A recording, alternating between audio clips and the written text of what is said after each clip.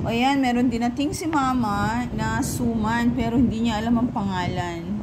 Sabi ko, i-microwave. Hindi na daw. Uh, bin, nabalot siya and then merong ganyan, no? Ano to? Sige, bahala ka. Ganito. And meron siyang latik. Latik ba to ma? Or sugar. I don't know what that is. So, ito. Uh, tikman po natin. Mahawakan mo yung phone. I-open ko. I-ano ko lang. Okay na. Tikman po natin, ha?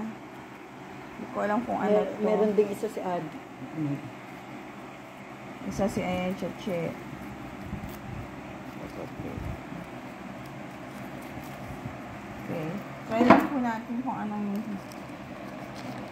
anong not too near the food.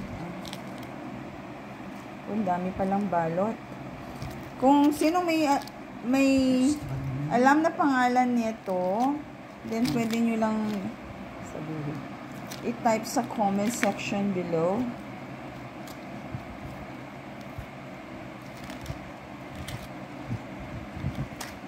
Tingnan natin kung anong kulay yung nasa loob. Ah, parang bibingka. Mali ito. Hindi ganyan yung bibingka. Ano to? Suman. And then, meron siyang ganito. Ganito na ganire.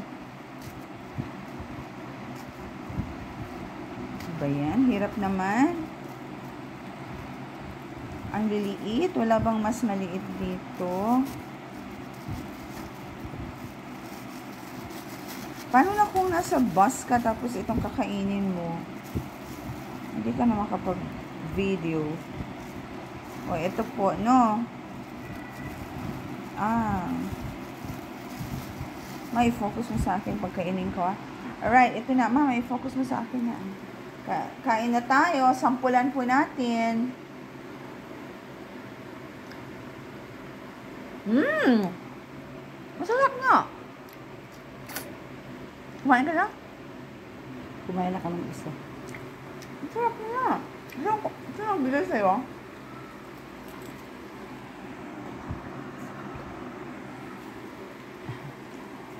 Eh, so what? Eh, Pero binigay sa'yo? eh basta na nang hininga ko na. Mmm. Yan po.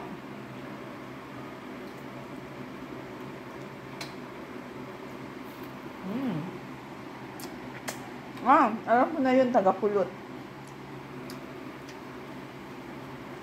Sarap po. Bye!